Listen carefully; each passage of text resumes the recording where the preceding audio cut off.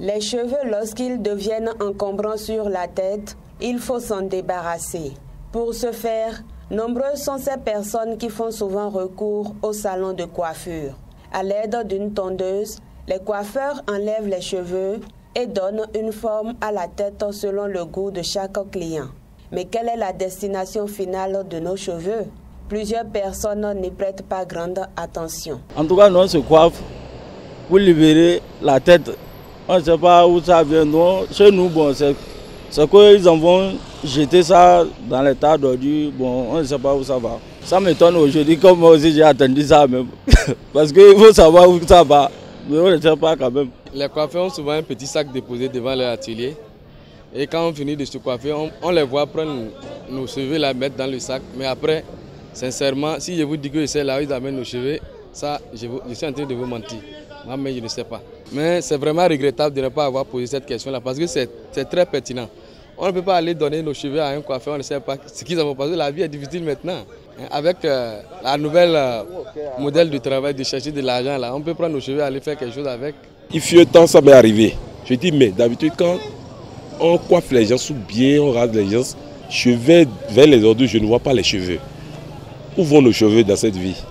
Donc c'est depuis ce temps que moi j'ai pris l'opportunité, quand je, finis de me coiffer chez le coiffeur ou bien quand j'amène mes enfants, je ramasse les cheveux de mes enfants. Moi, mais je vais verser ça au WC. Si certains coiffeurs préfèrent incinérer les cheveux de leurs clients, d'autres par contre procèdent autrement. Si on finit de coiffer, on essaie de balayer. On regroupe ça dans la poubelle d'abord. Si c'est rempli là, on essaie de mettre ça dans, dans une sac.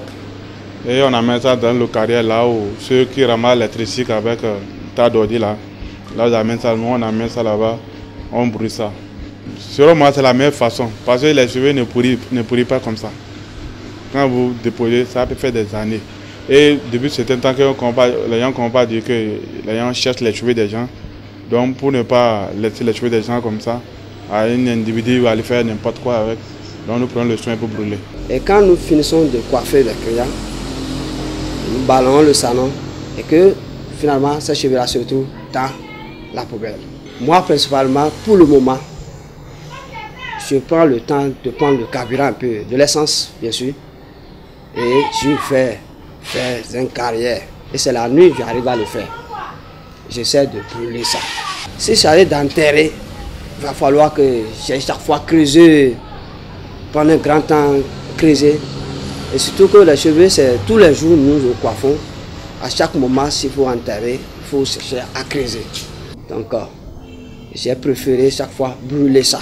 Quand les clients venaient, chez nous se coiffer, après ça, quand on a fini, on balaye en même temps. Quand on a balayé, on, on partit verser ça.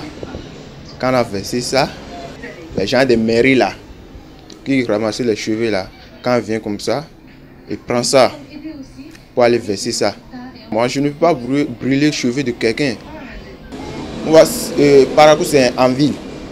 Je ne sais pas là où il va aller faire ça là maintenant, rentrer là, euh, dans la brousse, commencer par faire ça là. C'est à cause de ça là, je prends ça pour déposer ça et les gens viennent prendre ça, c'est à cause de ça. Brûler les cheveux, les jeter ou les enfouir, docteur Christian Koudoupo, dermatologue, enseignante-chercheur à l'université de Parakou, clarifie. Je pense qu'il faudrait, moment, comme ils le disent, qu'ils ont, ils ont, ils ont l'habitude de brûler parce qu'au niveau du cuir chevelu, on peut avoir plusieurs affections.